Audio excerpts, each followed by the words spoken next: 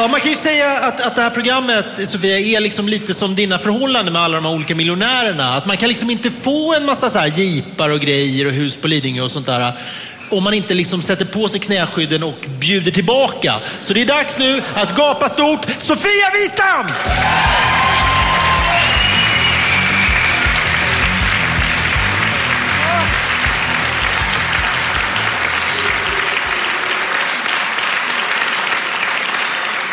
Det här som ni förstår är ju eh, superläskigt. Eh, eh, jättekul att vara här.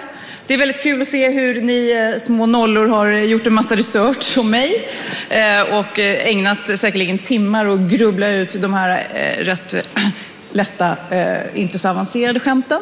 Men eh, jättekul att vara här eh, och det är faktiskt en rolig form av humor och jag vet ju inte riktigt vad ni ska säga till mig så att jag får väl eh, försöka slå tillbaks så gott det går helt enkelt. Jag tycker det är lite fegt, sex mot en. Lärde inte ni er det någonstans? Men eh, jag är faktiskt rätt stark. Jag kan ta det mesta. Eh, har eh, jobbat, som ni har sagt, en hel del. Eh, prioriterat jobbet kanske mycket för barnen.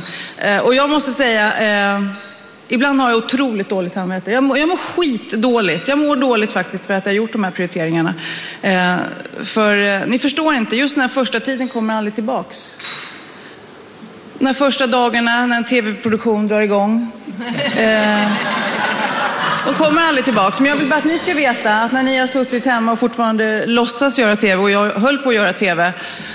Jag har en, eh, en klippbok som ni gärna får titta i med, du vet, eh, de, när, bara de små, små, små bilderna när de där synopsisarna bara var en liten idé och de första stapplande stegen av Fame Factory. Helt fantastiska bilder. Eh, Magnus, jag förstår att inte så många tjejer kanske är intresserade av dig och du har då, som vi har hört, gått vidare till att försöka locka till dig killar. Jag kan säga så här. Som vi hörde, jag känner många gaykillar. Det finns ingen kille som skulle hoppa på dig. Så därför vill jag bara rekommendera, rent för att jag är snäll, jag rekommenderar djur.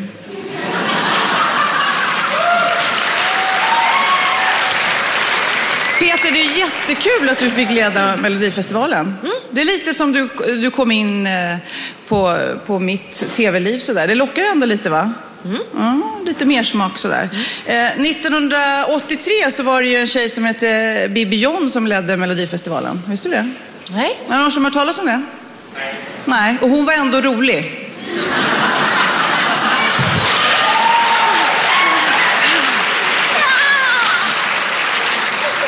Och sen vill jag bara säga, det har varit himla mycket snack om det här att jag visar brösten på Pride. Då säger jag så här Petra, ni ska vara väldigt glada för att det var jag som gjorde det och inte du. För då skulle folk kommit sprungen, springande med Clarasil.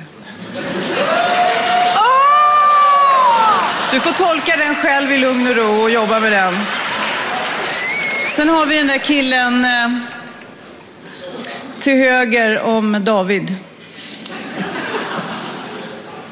Jag känner igen dig. Alltså jag, jag vet inte vad du heter, jag har aldrig sett dig förut. Du är inte ens speciellt rolig, men jag, jag känner som jag har sett dig förut. Och jag har försökt sitta och placera dig. Och det enda jag kom på är, kan det vara du som är frukten av eh, Tito Beltran och den där barnflickan?